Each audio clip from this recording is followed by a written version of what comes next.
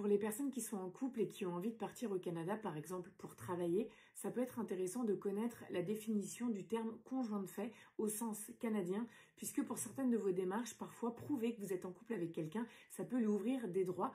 Donc je vais vous expliquer de quoi il s'agit. Être conjoint aux yeux du Canada, c'est soit être marié, depuis trois ans, depuis avant-hier, peu importe, ou alors être conjoint de fait.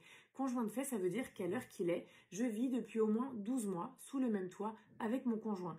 Évidemment, il suffit pas de dire qu'on vit ensemble depuis 12 mois, il faut pouvoir le prouver.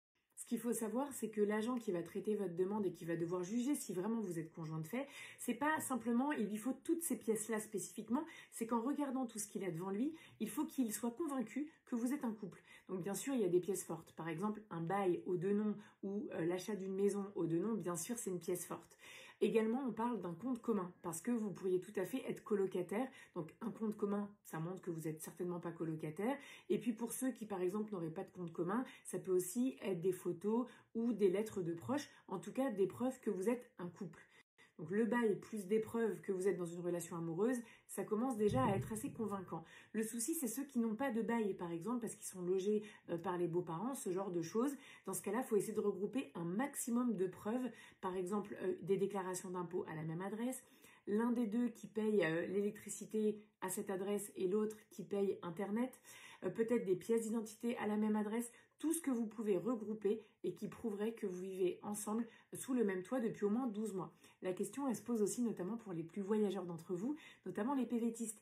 Si vous êtes parti par exemple en PVT en Nouvelle-Zélande et que vous n'aviez pas de logement fixe, par exemple parce que vous étiez en van, il va falloir essayer de regrouper des preuves, par exemple peut-être que vous viviez ensemble avant votre départ en Nouvelle-Zélande, que vous avez pris le même avion pour arriver en Nouvelle-Zélande, que vous avez vécu dans le même Airbnb ou la même auberge de jeunesse, qu'ensuite vous avez peut-être acheté un véhicule ensemble, est-ce que les papiers sont à vos deux noms, et puis ensuite pareil des photos.